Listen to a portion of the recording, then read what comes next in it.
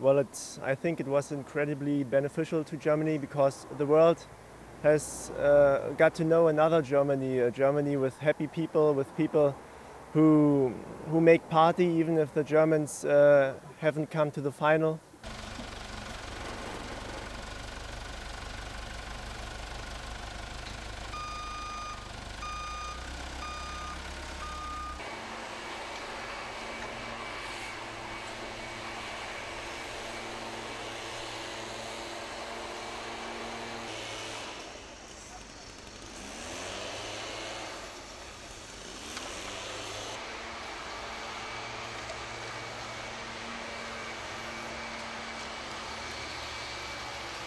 I mean, I hope that more people are coming after this and that we have a that we produce a nice picture in foreign countries and that Americans don't think that there's a wall anymore in Germany and yeah that we're not that um, strict and severe as people think.